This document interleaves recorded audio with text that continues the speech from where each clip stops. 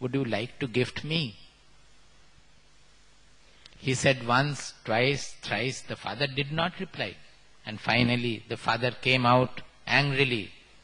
Mrityave dadamiti. It is like cursing the son to death. It is in Sanskrit, so it does not appear to be like that. But if we convert into our regional language, we will understand what it is. The father was angry and he cursed his son to death. Can there be any greater fall of a father? Such a ritualist who has studied the scriptures, that to a son who has not done anything wrong, who had finally come to save himself from the hell. Such a son is cursing to death. By this, the Upanishad says that where greed can take us, where desire and greed can take us, provided they are not purified by the Shastras, by the Shastra Vakyas. When we flout the Shastras in fulfilling our greed, it can take us to the level of cursing our own son to death. Nachiketa's father Vajashravas's character ends there in showing us the calamitous condition a person can be led to by dint of his desire and greed for worldly objects and for other worldly attainments. He may do hundreds of rituals, but unless his mind is purified, he will not attain the goal. In Yama's instruction, the first verse itself, Yama specifies the same thing. Sarve Vedayat Padamamananti Tapamsi Sarvani Chajad Vadanti Yadichanto Brahmacharyam Charanti Tatte Padam Sangrahena Bravimi Om Ityetat. This is the first lesson the starting point of Yama's discourse to Nachiketa. He says that all the Vedas, whatever they say, because different Vedas, Vedas are there, different portions of Vedas are there. Sometimes one portion of the Veda will be contradicting the other portion of the Veda. So naturally a person given to the learning of Vedas will be confused finally. Tapamsi sarvani chayad vadanti. So many kinds of tapasyas, austerities are there. What for people do?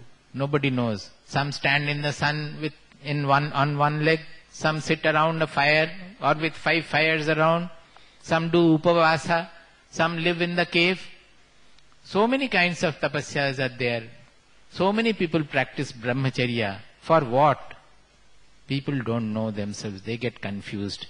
So the first lesson Yamaraja gives to Nachiketa is to remove the confusion confusion from the mind of Nachiketa, telling him that whatever you find in the name of spiritual practice in our country, Sarve Vedayat Padamamananti, all the Vedas, whatever they speak of, whatever the austerities that tapasyas aim at, whatever brahmacharya aims at, all those are for one single aim. And what is that? Om Ityetat. He is representing it by Om. Om signifies Brahma Vidya, the attainment of the final truth. So, unless our puja, our rituals, or whatever we are doing in the name of religion or spirituality, unless they are able to take us to the Brahma Vidya, which is attained through the purity of the mind, they lose their purpose. They are all, the ultimate aim of all is this Om. That too, he is saying, Sangrahena Bravimi. Sangraha, Samyagraha. That means it is not only briefly I will state. Sangraha, generally we think as, I will state you briefly. It is not just brief. I will, Samyak, I will take the essence of all the Shastras, whatever the Vedas have said, whatever the tapasyas mean. I know everything and I will take the essential part of everything and I will give you Nachiketa. You don't have to worry. You don't have to read the thousands and millions of Shastras. Shastras are infinite. But when you have come to me, I will give you only the essence of it with which you can attain the ultimate aim which all these Shastras, all these tapasyas aim at.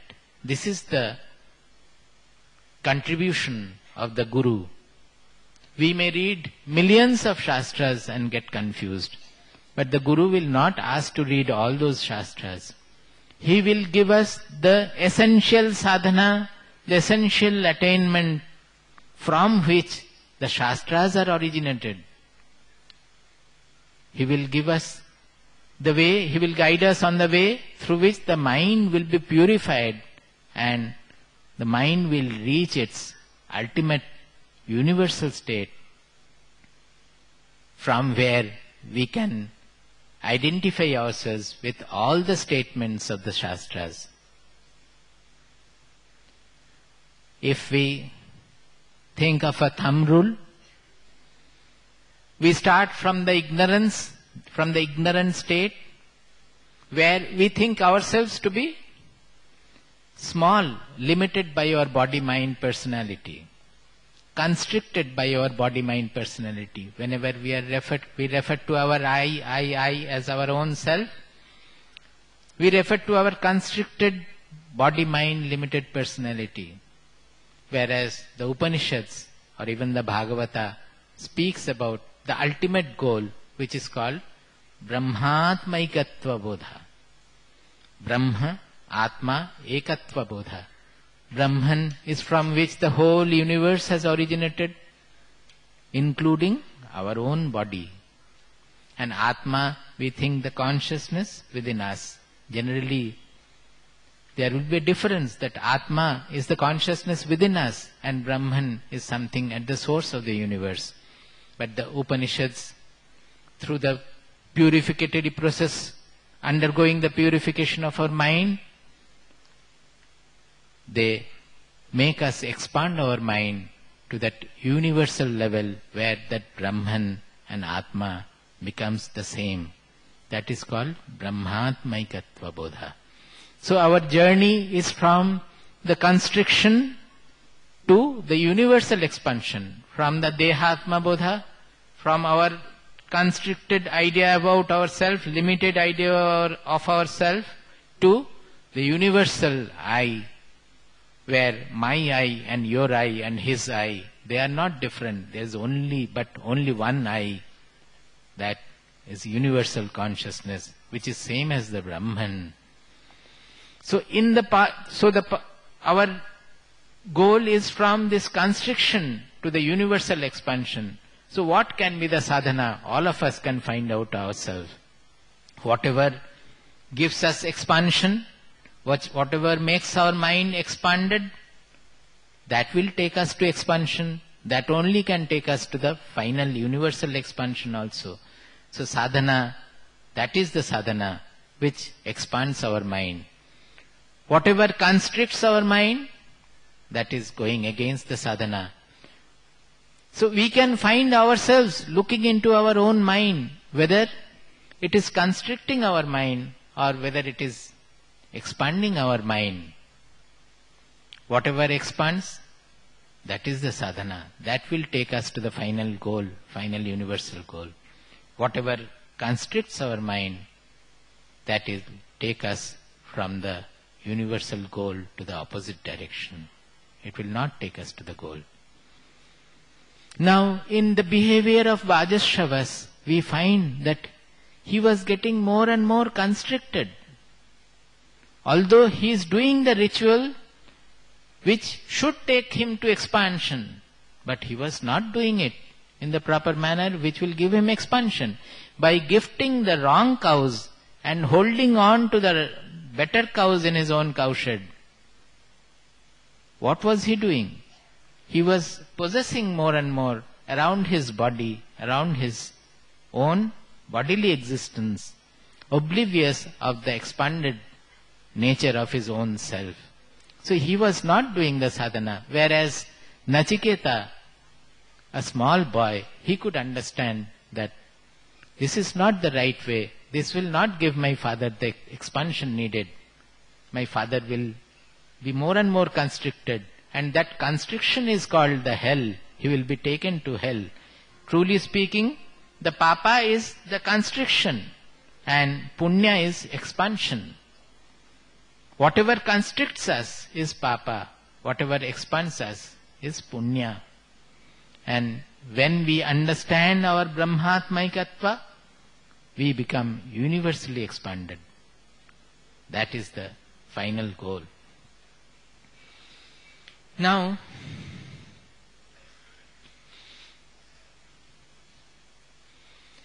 in when Nachiketa went to his father and asked him to gift him to the priests, the father got angry and cursed him to death. But Nachiketa still remains composed. Because he was pure minded, he immediately did not retort back that, oh father, what you are doing is wrong and I wanted to correct you and you are cursing me death. No, he did not have any such approach. He had a humble, a quiet approach. He thought that, okay, my father has said something. Maybe he has cursed in anger and he will repent later. But again, the Shraddha was working in his mind that whatever the father has uttered, that should become true. The same thing in Ramayana, Rama also did. That father had ordered something, I must prove my father to be truthful. Here also Nachiketa said that everybody has upheld truthfulness. So whatever my father has said, I must uphold the truthfulness of the sentence, of his utterance. And so I must walk to Yama. So he started going to the Yamaraja and he reaches his palace. And he was not there. For three days, three nights he waited. Now we may interpret why did he wait for three days, three nights in various ways we can interpret, but because we say that this Upanishad is exclusively sadhana oriented, we will say that it shows the qualities of Nachiketa. He had gone to Yamaraja's palace for certain purpose. And going there, even when he had to wait for three days and three nights, it did not outwit him or it did not send him back that, oh, Yamaraja is not there, let me go back, which most of us will do perhaps.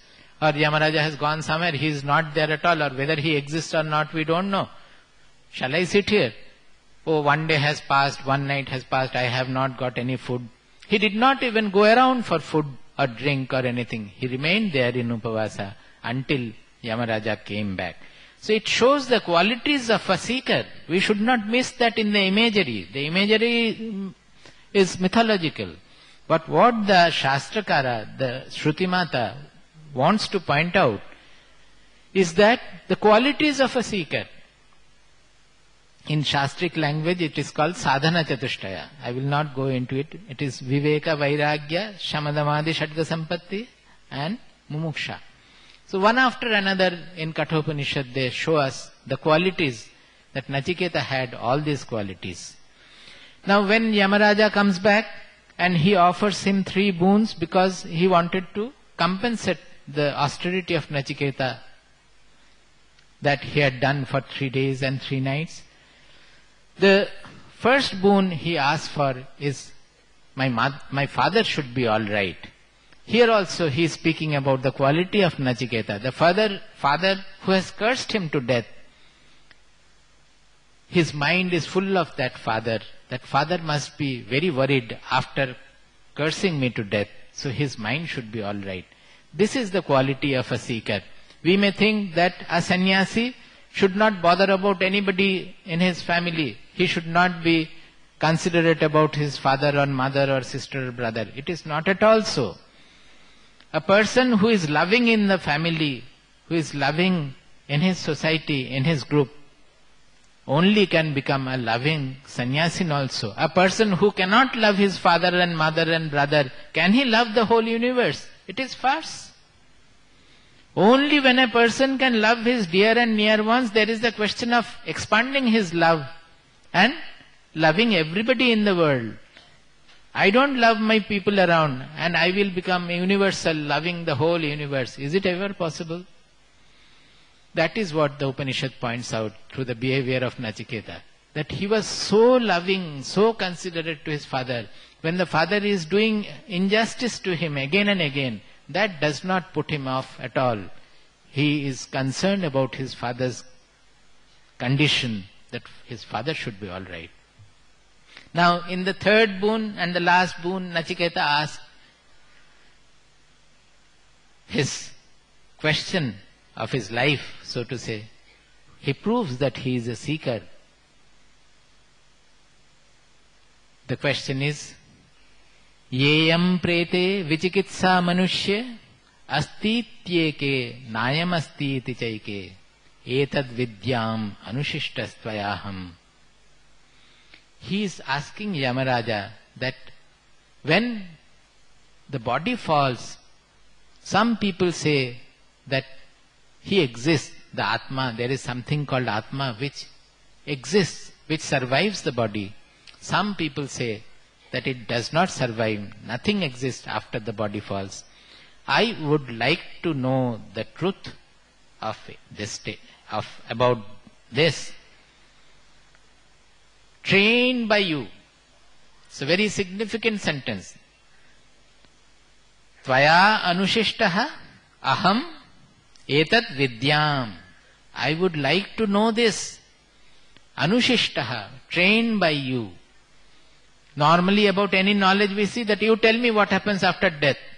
We think that the knower will tell me what happens after death and we will understand, we will know and we will go away. It is not so. Nachiketa's culture, his chitta shuddhi or whatever he had, that gave him the knowledge that this ultimate knowledge of what happens after death, if it is called so, or what is the real existence in man, what is the transcendental existence in man, that cannot just be had by listening to the, listening to the statements of anybody speaking about it. Anushishtastvayaham. He understood that he has to be trained by Yamaraja in it. Only then the truth will be revealed in him. Otherwise the revelation will not take place. So in the question also we find the seekerhood, the culture of Nachiketa. Yamaraja then goes on telling him that never ask this question, even the devas are confused about it. Forget about human beings. This question is not to be understood by a person like a small boy like you. You take so many other things. He goes on increasing the allurements one after another. He gives things of the world which nobody can ever think of. But Nachiketa was not to be allured by any of those. Then Yamaraja started bringing in things which are not available on the world at all, which are from the heaven. So that if Nachiketa had some attraction for heavenly things or heavenly attainment, he will be lured. But Nachiketa did not fail. He remained firm on his enquiry. He told Yamaraja four sentences which are cardinal in Kathopanishad. But that is not coming from the Acharya Yamaraja. It is coming from the Shishya Nachiketa. Shobhava matyasya yadantakaitad sarvendriyanam jarayanti tejaha api sarvam jivitam tavaiva vahas tava gite. Followed by the first sentence of the next shloka na vittena tarpaniyo manusyo. This is Nachiketa's ultimate statement which proves his fitness of a seeker. Shvaha abhavaha Matyasya yadantakaitat. Hey Antaka, hey Yamaraja, whatever you have brought here, they are all shvaha abhavaha. They are all short-lived. Even tomorrow they will not be there. They are all futile. Some days they will be there, some days they will not be there. Not only that, sarvendriyanam jarayanti tejaha. We think that by enjoying these material properties, material objects, we will get joy. But what really happens is, Sarvendriyanam jarayanti tejaha. They will only deplete our organs of their brilliance, of their power. The enjoyment will- not brighten up our indriyas. They will deplete the power of our indriyas. So why should we look for them? The third statement, api sarvam jivitam alpam eva. You have given me hundreds and thousands and as much as I want of life. You said that as long as you want, you have life. Initially he said 100 years, then went on extending. You said that, but oh Yamaraja, I know, api sarvam jivitam alpameva. Whatever the lifespan, it is always alpa, it is insufficient for people. Why?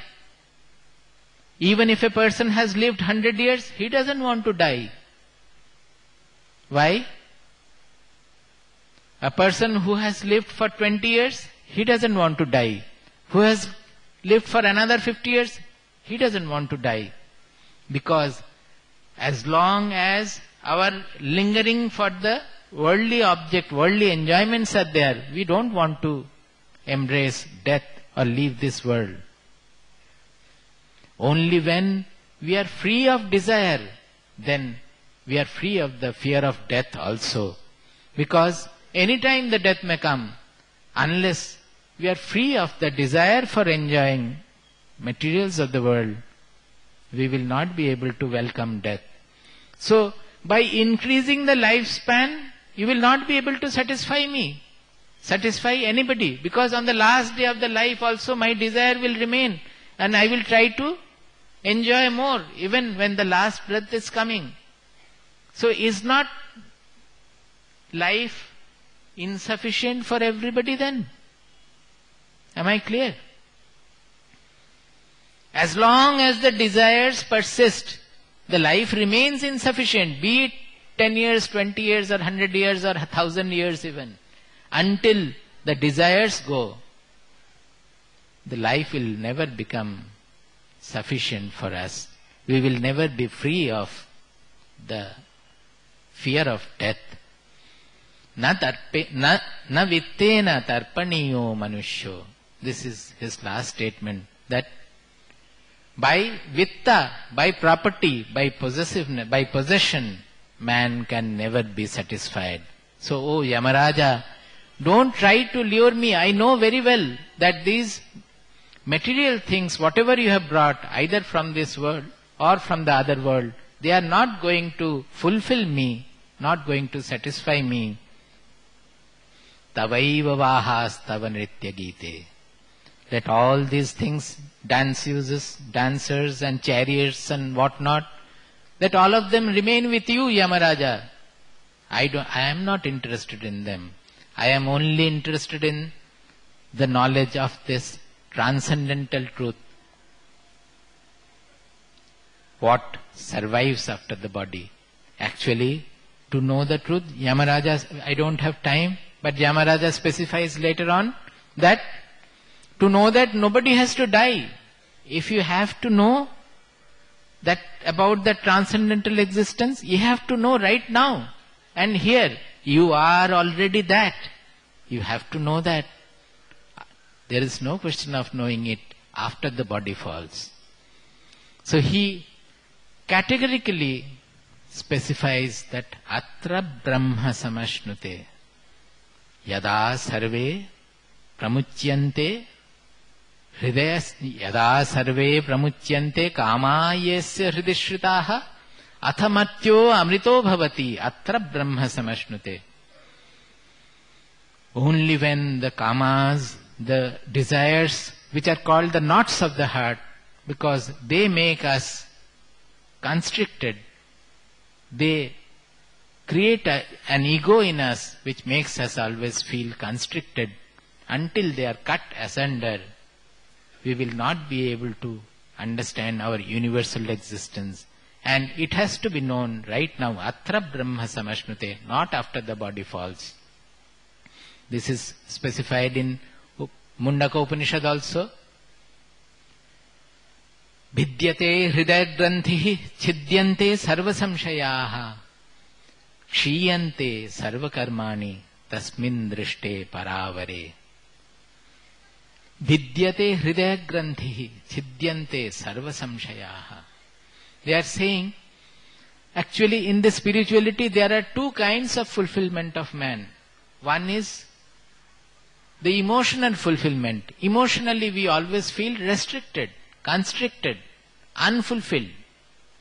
Our mind is never fulfilled because the mind is smitten with desires. The other lack of fulfillment is with the intelligence. Samshaya. The intelligence goes on questioning. We are never sure about the truth. The intelligence is never fulfilled or never poised. The spirituality as presented in the Upanishads or in our culture, it makes a human being fulfilled in both these senses. It fulfills our mind. There is emotional fulfillment by the effacement of ego, by the purification of the mind, and there is fulfillment of the intelligence also by removing all the doubts that prevail in our mind and intelligence. So, samshayaha, samshayaha, they are about the intelligence that the person must be rid of all doubts and the vidyate hridaya granthi, they refer to the emotional knots of our heart, those who are caused by the desire. So the Upanishad started with desire and also it concludes with the removal of the desire. So desire is the point here which the Upanishads begs us to attend to. We should not go around and look for so many scriptures, the knowledge of the scriptures, of all the Upanishads, of so many Shastras, so many things. It is not necessary. Even a single shloka or a single Upanishad is sufficient, provided we understand the fundamental note and look within ourselves and see what is happening inside. Am I getting constricted or am I getting expanded? through each action of our own. It has to be practiced every moment. There also in the second chapter, this Kathopanishad says that don't say that your, it is depending on your destiny. The time has not come for me to practice spirituality. The God has not willed. There is nothing like that. It is entirely resting on you. The world comes to you with shreya and preyaha, pleasurable and the auspicious things. You have to decide which you would like to take. Either you have to choose the preyaha, the pleasurable, which is immediately pleasurable, but which will not take you to the auspicious goal. Or you have to choose the shreyaha, that which may not be immediately pleasurable, but which will take me to the ultimate auspicious goal. It is for us to discriminate each moment of life that am I looking for preyaha or am I looking for Shreyaha? Am I choosing Shreyaha always in preference to Preyaha? That we have to decide. The whole responsibility rests on us. That is what Kathopanishad emphasizes again and again. I thought of relating it to Bhagavata, but there's no time, but a little I will say. I don't know Bhagavata at all. Our Swamiji and Ma Gurupriya, they read from Bhagavata, recite, and Ma had been telling, reading out the stories from Bhagavata wherever they are interesting. So I have only been listening to that and shedding tears. But I don't know Bhagavata at all. But when this lecture was, I am not a speaker also. I never wanted to speak in an audience like this. But when Vijay Kumarji and finally our Swamiji said that well, why don't you speak on Kathopanishad? We take a class on Kathopanishad in our ashram. So why don't you speak on Kathopanishad? I said, okay, we will speak, but by nature I am not a speaker. I don't have the aptitude to speak in a large audience also. But when this occasion came, I thought that it is a Bhagavata Satram, so I should relate it to Bhagavata also. And immediately I opened the last page of Bhagavata that is Dvadasha Skandha, Trayodasha adhyayah, that to the end shlokas. And I found that whatever is spoken of in Bhagavad, in Kathopanishad or any Upanishad, so to say, it is simply that there is no difference. And Bhagavata is spoken of as the Sara of Upanishad. There is no difference at all. So two, three slokas I was thinking that one which we had our the Prarthana Sangit the first day. श्रीमद्भागवतम् पुराणममलम् यद्वैष्णवानाम् प्रियम् यस्मिन् पारमहंस्यमेकममलम् ज्ञानम् परम् गीयते। पारमहंसमेकममलम् ज्ञानम् परम् गीयते। What is this paramahamsa? Hamsa is our atma. A who is a paramahamsa? One a person who has known that his atma is everybody is atma and that is the Brahman That is the same thing as the Upanishad calls Brahmatmaikatva Bodha. A person who has attained this Brahmatmaikatva Bodha is called a Paramahamsa. So Bhagavata speaks about the Paramahamsyam Ekamamalam Jnanam Param Giyate. The jnana which is Advaya, which is pure and which is carried by the Paramahamsa, as I started my talk with that, the living knowledge. Who carries the knowledge? The Paramahamsas, they carry the knowledge. They are the living truth. They are the living Upanishads. तत्र ज्ञानविरागभक्तिसहितं नैष्कर्म्यम् आविष्कृतम् नैष्कर्म्यम् आविष्कृतम् I was amazed to see the words. I have heard about this sloka so many times, but because I have to talk, I thought about it. Normally we don't need it. So I thought about it. What is this avishkritam? Avihi means avihi prakasha. The real avihi is our consciousness. Avihi kritam.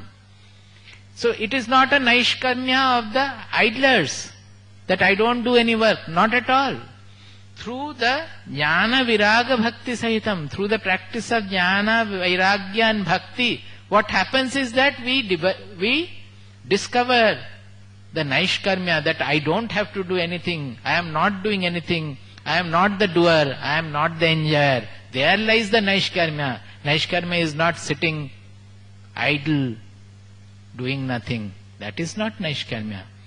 Naishkarmyam avishkritam. Such a language I have not found in the Upanishad. This word, that Naishkarmyam avishkritam, this touched me very much. Then I went back, I went ahead. The next sloka says, Kasmayena vibhasito ayamatulo jnana pradipah pura. Yena vibhasitaha ayam atulaha jnana pradipah pura. They are talking about the Bhagavata. That is again not the Bhagavata book.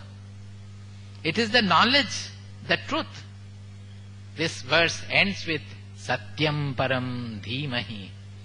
तच्छुद्धम् विमलम् विशोकममृतम् सत्यम् परम् धीमहि।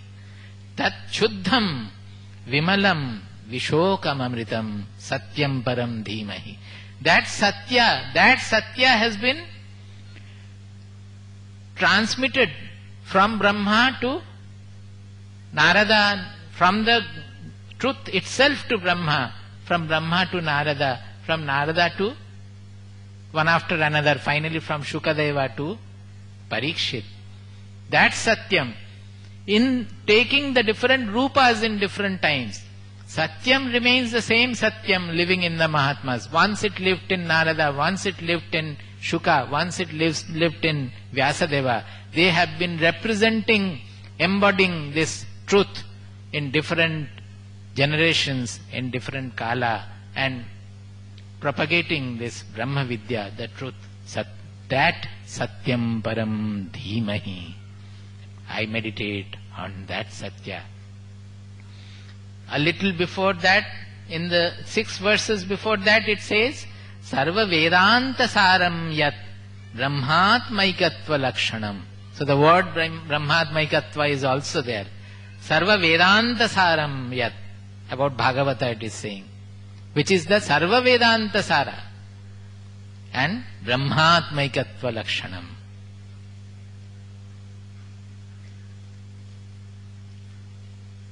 So I will conclude. I wanted to speak many things, but I think it is okay. The fundamental point I wanted to emphasize, that has been done more or less. ॐ सहनावतु You can follow me. ॐ सहनावतु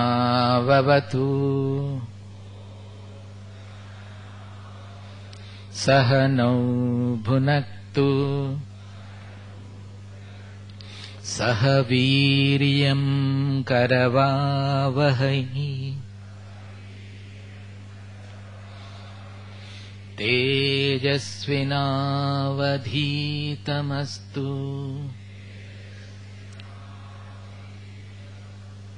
मा विद्विषावहै।